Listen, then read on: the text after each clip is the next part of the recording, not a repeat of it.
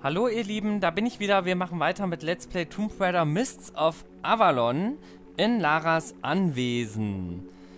Ja, mein Bruder hat mir durch die Wand zugehört und hat mich gerade für das Secret gelobt, das ich gefunden habe. Und äh, der hat mir gerade nochmal gesagt, dass der Brief, den wir da gefunden hatten, ein anderer war als den, den ich mit der Karte mit dem Kreuz vorgelesen habe. Und zwar ist es ein Brief von Winston an Lara und der ist auch gar nicht so unwichtig für dieses Level. Und zwar, guten Tag, Lara. Da ist frischer Orangensaft in der Küche. Wenn du dir einen äh, schmackhaften Smoothie machen willst, kombiniere das mit verschiedenen Früchten. Deswegen haben wir auch die Banane gefunden, weil ich habe schon gedacht, hey, was wollen wir damit? Und wahrscheinlich können wir dann wirklich das kombinieren und mit dem Smoothie Maker irgendwie dann machen. Das sollten wir auf jeden Fall im Hinterkopf behalten. Wenn du schwimmen gehst, denke daran, dass heute Süden und Norden safe sind. Ja, das haben wir gerade selber festgestellt, als wir aufgespießt wurden.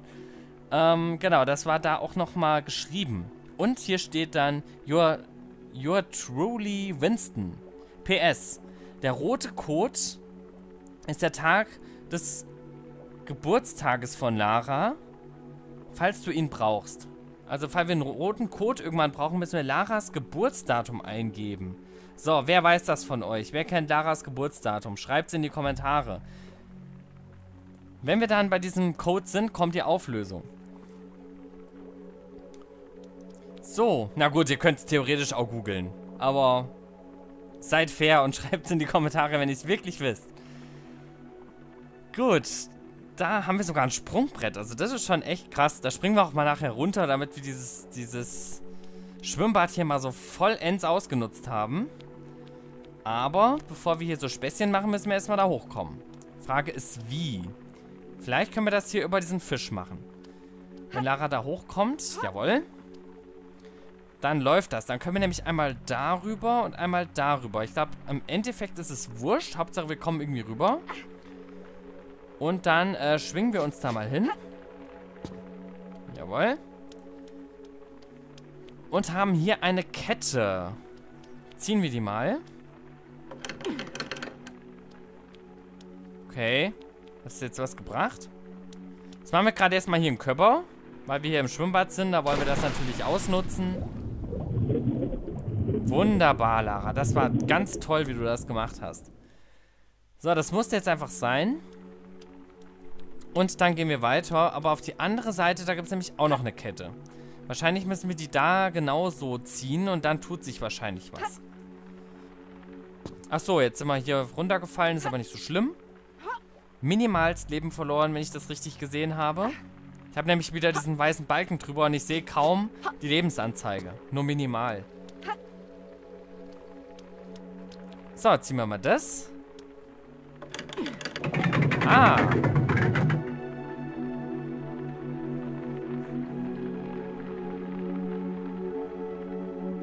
Ah, das ist natürlich sinnvoll. Cool. Müssen aber darüber. Das ist echt voll cool. Aua, jetzt haben wir wieder ein bisschen Leben verloren. Und jetzt kommt voll die geile Mucke im Hintergrund irgendwie. So bassmäßig. Und jetzt macht das Sprungbrett auch nochmal irgendwie Sinn, darüber zu kommen. Cool. Also das hat hier echt was. Bin voll begeistert von diesem Level hier. So, ein Training haben wir noch nicht gemacht und zwar das hier. Das musste jetzt auch noch getan werden. Und was finden wir? Ein Teil eines Schlüssels? Ein Schlüsselbad. Das heißt, wir müssen wahrscheinlich noch den, den Hauptschlüssel finden und das miteinander kombinieren. Das muss wehgetan haben. Sorry dafür, Lara. Gut, das heißt, diesen Raum hätten wir dann anscheinend auch erledigt und können jetzt die andere Seite des Anwesens uns anschauen. Möchte aber nochmal kurz zurück in die Küche, ob wir vielleicht doch noch irgendwo Früchte mitnehmen können, was vorhin Lara nicht genommen hat, weil wir haben bis jetzt ja nur Bananen. Vielleicht kann sie auch einen Apfel und eine Orange mitnehmen. Aber jetzt sind wir leider auf die Küchentheke gejumpt. Das sollte wohl so nicht sein. Das nimmt Lara nicht, aber wir gucken ja mal weiter, ob irgendwo noch Obst liegt, wie hier zum Beispiel. Vielleicht nimmt sich da Lara doch eine Orange noch weg. Oder können wir hier drauf springen? Nee, auch das geht nicht. Da kann man jetzt durchlaufen. Das ist nicht der Sinn der Sache. Hier können wir auch nicht, es sei denn, wir können auf den Tisch drauf. Das geht aber auch nicht. Alles klar, dann haben wir, denke ich, alles probiert, was geht, um an Früchte zu kommen. Haben bis jetzt nur Bananen. Aber wir finden bestimmt woanders auch noch was. Ich meine, die Villa ist ja groß. Daran soll es, glaube ich, erstmal nicht scheitern. Gut, dann schauen wir uns diesen Flügel mal an. Gucken, was Lara noch so alles in ihrer Bonsenvilla so am Start hat. Hier geht's in eine Art, was ist das? So ein, so ein Esszimmer anscheinend, oder? Was ist das eigentlich? Ist das Uzi-Munition? Desert Ranger Ammo. Okay. Finden wir wahrscheinlich noch ein Fernglas und müssen dann... Also ein Laserzielgerät und müssen dann nochmal irgendwie... Was einschießen? Guck mal da, nimmt Lara sogar die Weinflasche mit. Ich wusste doch immer, dass Lara nur am Saufen ist. Was kann Lara damit machen? Eine leere Flasche, die müssen wir vielleicht mal mit Wasser füllen. Dass das so als Feldflasche fungiert. Natürlich sind die ganzen Flaschen, die hier rumstehen, auch leer. Und Lara die alle schon gesoffen hat, beziehungsweise die sind, glaube ich, zu. Aber das ist schön, dass hier zwei rumstehen, weil da sieht man nämlich schön dran, dass bei der einen zwei stehen, bei der anderen nur eine. Und dass man wahrscheinlich eine davon dann nehmen kann. Das ist auf jeden Fall ein schöner Hinweis. Und da ist Lara erstmal lang gestolpert. Ja, ich überlege gerade, können wir das vielleicht schon mal irgendwo auffüllen mit Wasser? Aha. Aber wir warten nochmal, weil ich gerade nicht weiß, wo man im Wasser stehen kann. Und durchs Wasser warten kann. Ich glaube, das hatten wir jetzt noch nicht an irgendeiner Stelle. Bin mir aber auch nicht sicher. Aber, wenn das hier ein Aquarium ist, geht das vielleicht da. Ach, hier, da haben wir es doch schon. Genau sowas habe ich gesucht. Ja, perfekt. Können wir das vielleicht auch, ähm... Nee, das können wir nicht kombinieren. Das ist auch eine schöne Stelle hier. Aber da sieht man wirklich wieder mal dran, dass Lara einfach zu viel Platz in ihrer Bude hat. Sonst macht man sowas nicht. Aber es sieht mega schön aus. Und ich glaube, jetzt kommt mein Highlight von... Ah, nee, es ist ja kein Aquarium. Ich dachte, es ist ein Aquarium. Aber trotzdem, cool. So voll tropisch. So ein, so ein Garten innerhalb der Villa. Wie so ein Gewächshaus. Ja, das sind so diese Tomb Raider 1 Bäume. Aus dem verlorenen Tal. In schön. Auch immer nicht schlecht. Ja, das ist natürlich mit den Pflanzen mega. Das war bei Himalayan Mysteries schon so. Mit diesen exotischen Pflanzen im Starship und so. Aha. Ist das eine Kokosnuss? Ah. Das können wir jetzt kombinieren und dann wahrscheinlich shaken. Cool. Richtig schöne Blumen hier. Schmetterlinge vor allem. Das gefällt mir so gut, Leute. Wie schön ist das bitte? Wie schön kann ein Level sein? Wahnsinn. Hier ist eine Plattform, die wird sich bestimmt mal irgendwie verändern, dass wir damit interagieren können.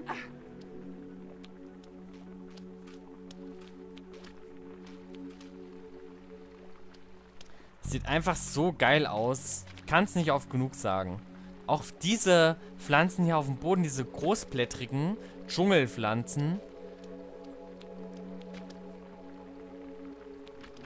Ich dachte, da lag was, aber es waren Laras Füße. Guck mal, da ist noch eine Kokosnuss. Oder kann man die nicht mitnehmen? Ach, die geht nicht mitnehmen. Die will Lara nicht. Jetzt Lara auch noch sehr, sehr penibel, was das angeht.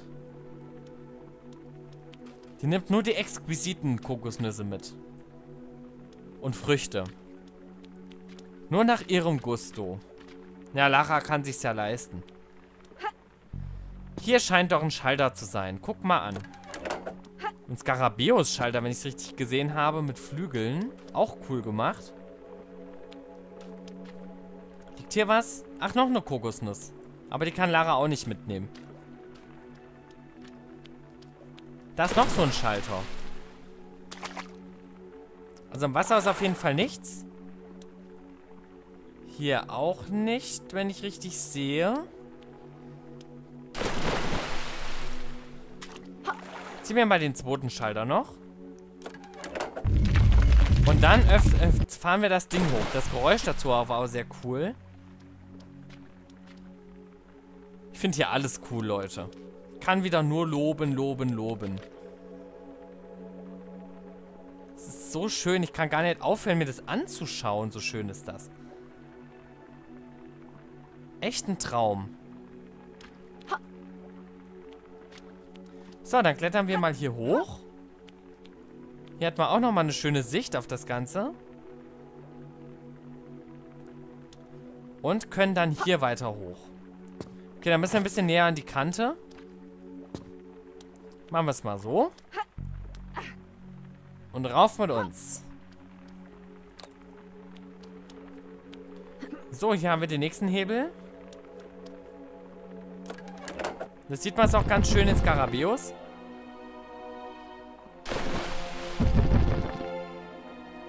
Ah, das ist so eine Druckplattform im Wasser. Der öffnet da drüben ein Gitter oder fährt eine Leiter nach oben. Ah ja, verstehe.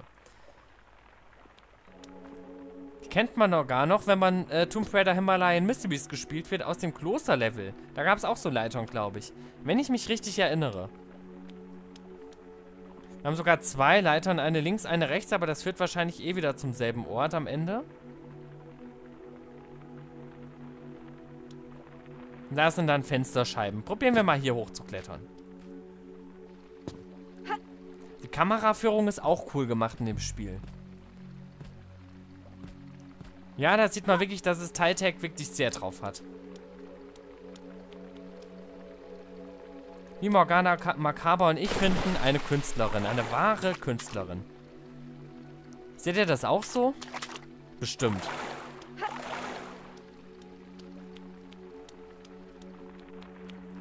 Ach, da muss wahrscheinlich Wasser rein, könnte ich mir vorstellen. Probieren wir mal, unsere Wasserflasche da rein zu kippen.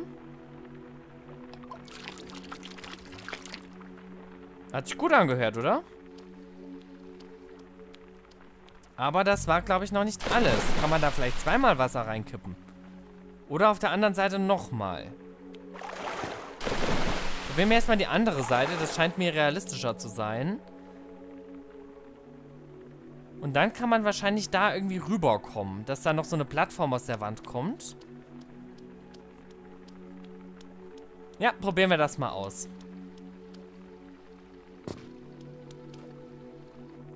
So, einmal zu dieser Leiter rüber. So ein schöner Garten im Haus. Jetzt da sogar schon Schmetterlinge angesiedelt haben. Krass. Hier kann man die Flasche auch wieder füllen, wenn man das möchte. Da liegt Medipack. Guck mal an. Ist immer gut, wenn man mal genau hinschaut. Aha. Wir haben bestimmt auch schon mal sowas übersehen mittlerweile. Aber sowas in so detailreichen Leveln übersieht man sowas total schnell. Wenn man dabei noch redet und kommentiert, bin ich sowieso dann verpeilt. Sowieso voll und unmultitaskingfähig und übersehe die offensichtlichsten Dinge. Aber mein Gott, so ist das. Man kann halt nicht alles können, ne? So, Wasser rein. Das war daneben gekippt. Da müssen wir uns, glaube ich, ein bisschen zentraler stellen. Probieren wir es nochmal.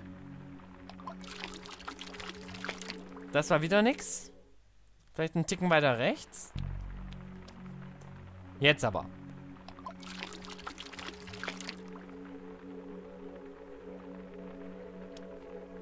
Ach so. Jetzt verstehe ich das. Da muss wahrscheinlich Fruchtsaft rein.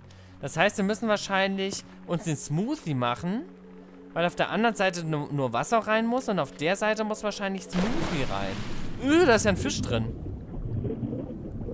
Witzig. Weiß der uns? Das will ich jetzt mal wissen. Ah, nee, die sind nett. Oder? Tun uns gar nichts. Sind ja auch richtig schön. Ich glaube, die schönsten Fische, die ich bei Tufelder bisher je gesehen habe. Gut, dann versuchen wir uns mal einen Smoothie zu mixen. Ich glaube nicht, was ich gerade in Wirklichkeit sagen wollte. Ich habe es aber gerade so noch die Kurve gekriegt und nicht über die Lippen gebracht, was mir fast rausgerutscht wäre. Weil ich gerade an den Whisky-Mixer gedacht habe. Der frische Whiskys mixt. Der Zungenbrecher, falls ihr den kennt. Ansonsten vergesst es einfach. So, probieren wir das doch mal.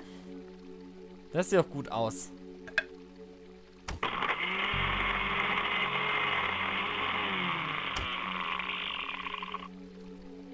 Das ist schon echt geilo.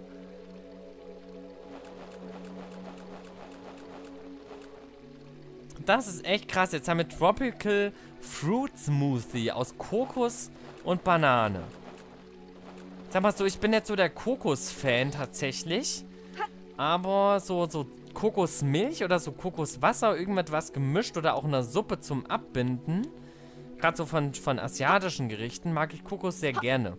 Was ich gar nicht leiden kann, ist so Kokosflockenmäßiges Zeug, wo man so drauf rumkaut. Bounty finde ich ganz, ganz fürchterlich. Oder Raffaello oder sowas. Das kann ich beim besten Willen nicht essen. Oder wenn irgendwas mit so Kokosstreuseln gemacht ist oder ein Kuchen oder so. Mal auf so Kokosspänen rumbeißt. Finde ich ganz, ganz schrecklich. Kokosmilch geht wiederum. Deswegen könnte ich mir vorstellen, dass mir der Smoothie sogar schmecken würde.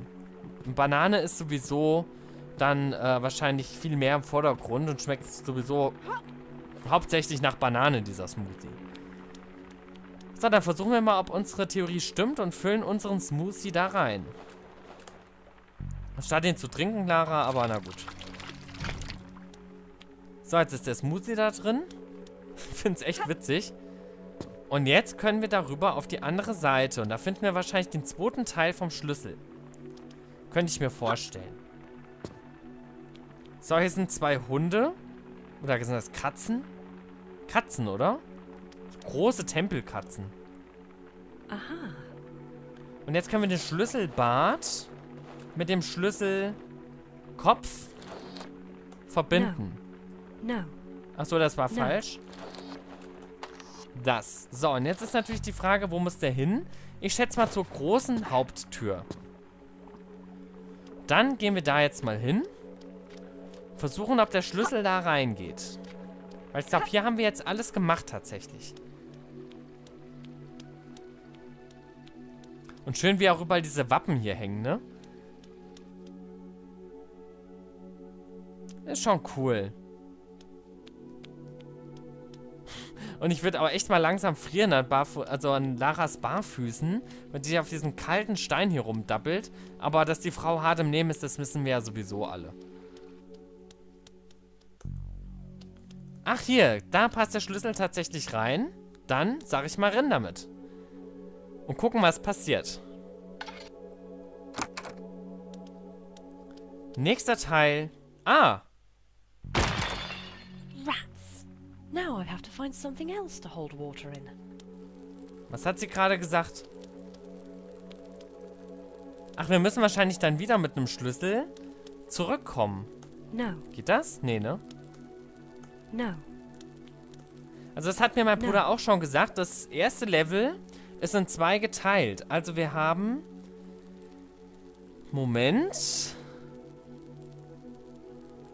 Fünf Level insgesamt und es gibt zwei Villa-Level. Und in dem zweiten, das ist anscheinend deutlich größer, gibt es fünf Secrets zu finden. Downstairs. Jetzt sind wir wahrscheinlich in den Kellergefilden dieses Anwesens unterwegs. Haben hier wieder zwei Richtungen, die wir gehen können. Hier liegt auch was, oder? Ach, das sind die Ratten, von denen Lara geredet hat, oder? Sind das Ratten? Was ist das? Ach, die Flasche ist runtergefallen, oder? Haben wir die Flasche noch? Nö. Der Lara ist die Flasche runtergefallen. Witzig.